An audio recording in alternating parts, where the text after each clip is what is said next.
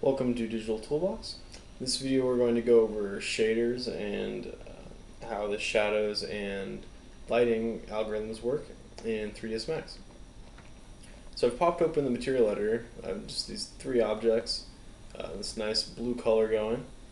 Um, the uh, shader is the kind of basic after the template, after you select your template and are kind of tweaking in what uh, you want the material parameters to be, the shader is the kind of uh, most effective uh, thing that you can change. So by default here, I mean, I'm just using a standard, the standard material. Um, I made it this kind of blue color, and uh, the first parameter that drops on the drop down menus down here are the shader basic parameters. So sh shader defines the shadows, how the lighting is going to fall off of an object. Uh, so you can see here this Blinn is the standard one. It's used in uh, a lot of the materials. Um, it's named after a guy named Blinn. Did uh, this algorithm for this really kind of basic uh, material that's been used a lot. Um, so you can see there are a fair number of options down below this. So once you have Blinn chosen, Blinn basic parameters, it gives you self-illumination, opacity, specular highlights, the color, all that great stuff. So you start messing around with the specular highlights and you can see uh, it's changing the light and the highlights on it. And when you change that, you can kind of see what kind of material it's, it's looking like.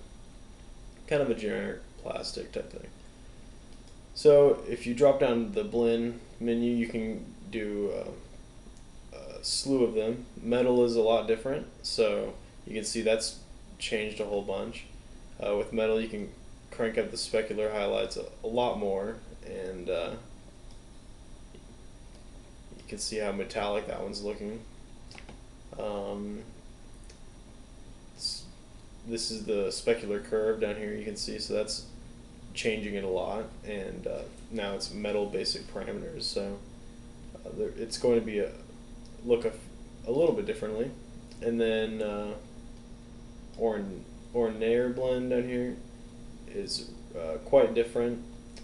This has a roughness to it this advanced diffuse level so you can hone that in and you can see that's kind of a, a little bit more rough, plasticky feeling, or that can be used for a lot of different things with the roughness factor.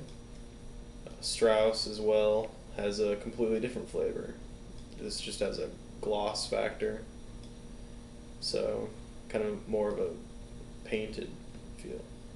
So those are basic uh, shader parameters and how you choose the the different shader and choosing the different parameters for the specific shader. So play around with those and uh, figure out which one suits your needs.